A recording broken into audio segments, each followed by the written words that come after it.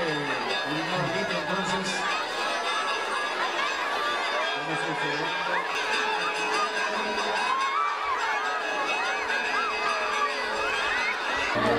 Vos sabés que tenés que agarrar guardar para un año y ese no te va a terminar tratando.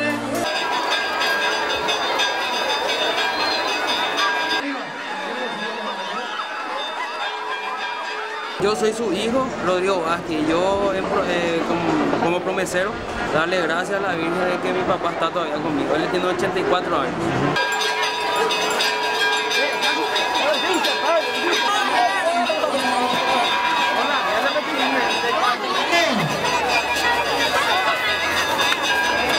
En la víspera a las 7 de la mañana ya llegan de Gucubí, de muchas partes, y esos señores me decían que ellos venían con sus abuelos ya, cuando era pequeño.